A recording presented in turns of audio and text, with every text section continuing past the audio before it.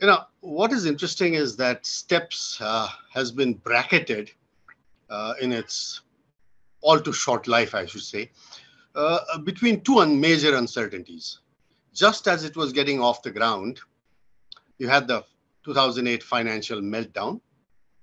And right now, we're in the middle of this massive uncertainty called COVID, you know, uh, with very uncertain outcomes about what the world will look like post-COVID. Okay, so it's fitting that uh, you know uh, a book on uncertainty and its politics uh, came out uh, just towards the end of it, uh, and uh, opens up a whole new avenue and a whole new way of approaching problems.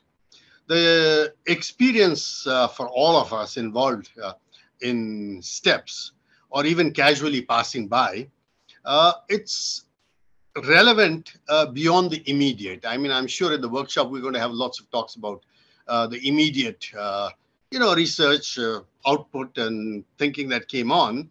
But uh, uh, to be uh, the uh, beyond that has been these magnified uncertainties uh, that we have grappled with in these 12 to 14 years.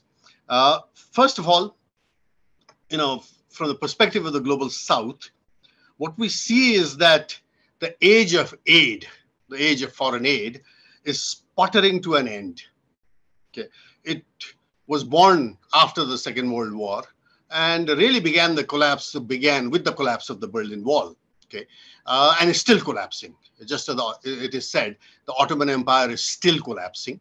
Uh, so, so too is this uh, the institutions of aid that was set up uh, uh, post World War II they did have some significant achievements in the 60s eradication of malaria. I mean a whole lot of things have happened you know. Uh, good bad indifferent okay. But that is all ending. So in the global south right now we are faced with this massive uncertainty about what is development how do we go about doing this and uh, uh, everything else okay.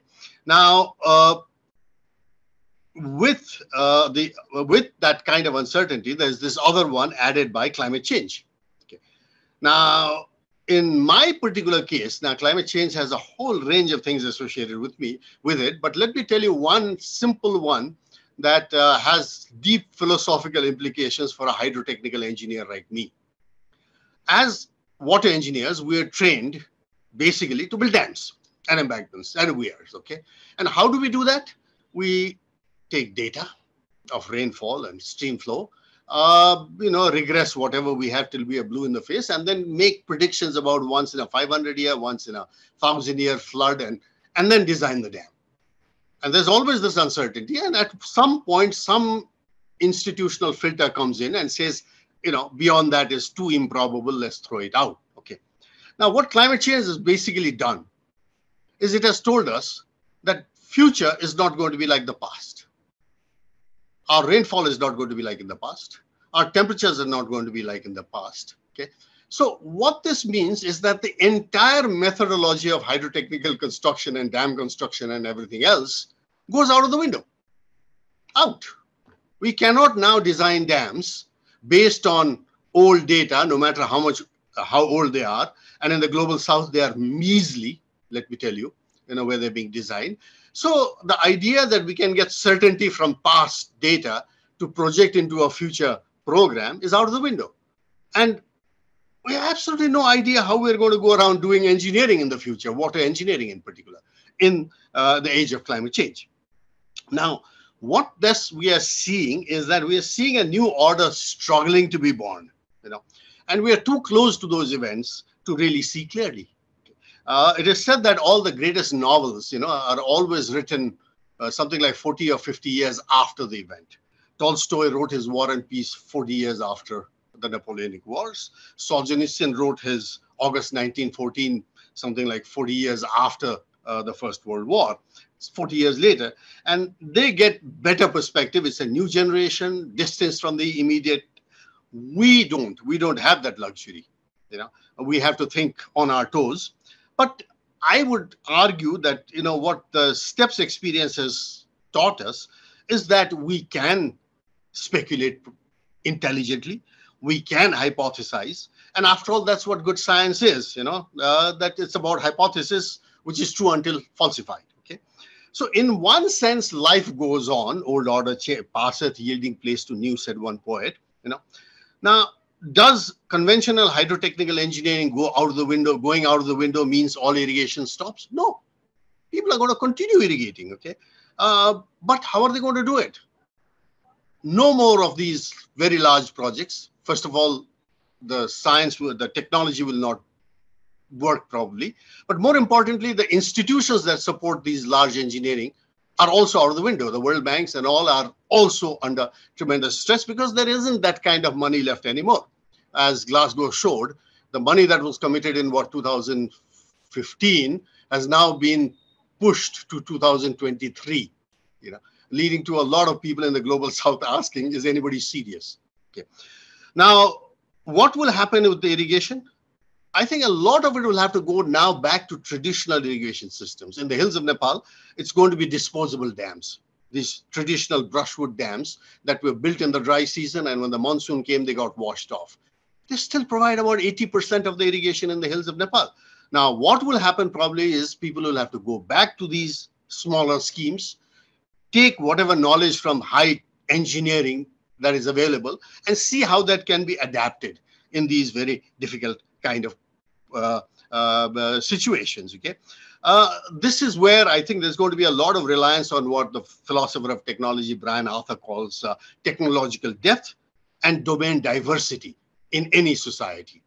And global South societies are going to be judged ultimately on that technological depth and domain diversity. It means new educational system. It means new, you know, government departments with completely new approaches. It means businesses with new approaches. Okay. Now we have absolutely no idea what that will be like. For instance, the presence of mobile phones in the hills of Nepal has already meant uh, we we have more mobile phones, by the way, than do, than we have toilets in the country. But uh, uh, what this means is that the way we do business, way do we do things, is completely changing so fast. Nobody knows what this means. Okay, so this leads to this other thing, the rethinking of development and development politics. De- decision making, after all, politics is about decision, decision making under tremendous uncertainty.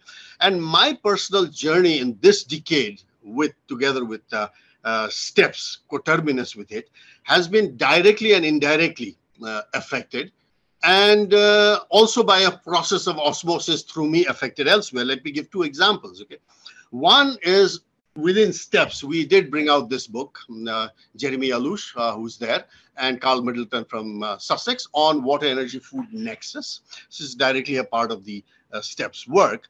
Now, what is coming out is that this nexus approach is going to be more and more central uh, to this thinking about development. Uh, no longer is it going to be just integrated water resource management or whatever it is. Yeah, it's going to be, and the nexus approach is still controversial. It's a theory in making, and so on. But together with it, it turns out that, and this is what my organization, uh, which I used to chair, Nepal Water Conservation Foundation, is also now pushing, which is you know looking at food loss, you know, not just as food loss, but as water loss and energy loss as well, and a climate change problem, because FAO has calculated that food loss globally, if it was a country, would be the third biggest emitter of greenhouse greenhouse gases. Okay. Now this changes the way we look at everything. Okay, and tied with this idea of nexus now is the centrality of water and energy footprints. We are going to soon have to be able to be judged to, to judge all our products from the shirts we wear to the coffee we drink to the potatoes we fry on its water and energy footprints because these are going to be extremely stressed and short items. No, no longer, this means it's no longer going to be the old debates, the old debates of you know, small versus big. It's no longer there. Beautiful is beautiful, small or big. But what is important is small is less risky. So we will probably have to go for less of one massive uh, optimized perfect solution and many equitable, many 10% solutions. How do we do that? We have no idea, but that's going to be the central political fight. And footprints are going to be, it is my growing belief that it's going to be the banner of new environmentalism in the future. Currently, environmentalism is really sputtering because there is too much procedural fetishism and too little uh, researched activism now. Uh, somehow 90s was the best period of environmentalism, 80s and 90s. Now it's sputtering. But to get back on track, it will have to come back to this idea of the nexus and the idea of uh, uh, water and energy footprints. Okay. To me, also, the other one, which was not directly with STEPS, but happened at the same time, uh, and uh, much of the work in STEPS also was reflected in it, is this book that came out uh, out of Routledge, uh, Aid Technology and Development, The Lessons from Nepal. Okay. Uh, and this is where we began to examine this whole idea of development, rethinking development, and asking what is bell development, good development, and mal development. Okay. And easily coming to a conclusion that many so-called developments pushed by big agencies turned out to be mal development, whereas some other developments were good developments. Okay. Now, what is good and what is bad is what we begin to examine there with many Nepali scholars and activists and actually practitioners who have actually done good and bad development and learned the lessons. Okay. So what at that same time came and also came through the steps work was this concept that we really have to look at two kinds of science now. Science is, yeah, science is science, you say, though it's not true. There's many different types of science. Whose science? Okay, it's a big one. So we came also with this idea of toad's eye science versus eagle eye science. You know, too little toad's eye science is being done in the global south. Too much of this eagle eye science that seems to have less and less connection to the ground is being pushed. Okay. As a result, we end up with massive maldevelopments. And uh, this is where the questioning is there now. Okay. Uh, so I would wrap up by saying that, you know, one way of assessing the decade and a half effort uh, is not just what questions were asked and answered as good projects do with many that we will discuss in the workshops following, I think. But for practitioners and scientists, what are the new problems it unearthed and what are the new avenues of exploration it opened up? And I think STEPS can be quite proud on this count that uh, it has opened up, uh, uh, as Gordon, men- uh, uh, mentioned, uh, you know, there are new avenues now. It doesn't mean STEPS folds and closes, it lives on in the new questions and new research avenues that it has opened up, which will find home in many different uh, institutions. Okay, so as the age of aid ends and a new age of uh, you know a reimagined international cooperation struggles to be born, I think steps will find resonances there. So thank you, Steps and IDS Sussex, for being a partner in this exploration. Thank you.